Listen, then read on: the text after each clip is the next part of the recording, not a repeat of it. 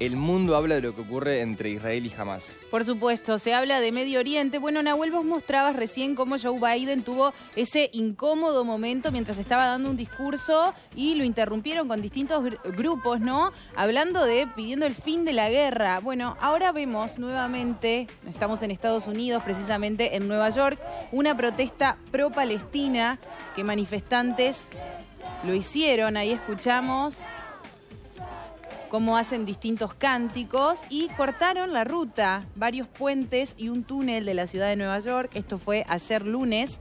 Fueron cortados para exigir el alto al fuego inmediato en el conflicto entre Israel y Hamas. Ya van más de tres meses.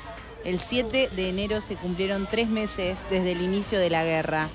Decenas de manifestantes se sentaron en la calzada y corearon consignas mientras detenían el tráfico en los puentes de Brooklyn, Manhattan y Williamburg, que cruzan el Earth River, así como el túnel Holland que conecta la ciudad de Nueva York con Nueva Jersey a través de Hudson, informaron los medios locales.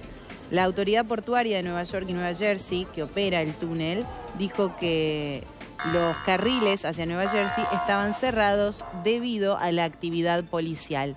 Nueva protesta entonces ocurrida en Nueva York de manifestantes pro-Palestina pidiendo el alto al fuego, pidiendo por la vida de los civiles que están muriendo y que ya son más de 23.000 personas que murieron desde que empezó la guerra.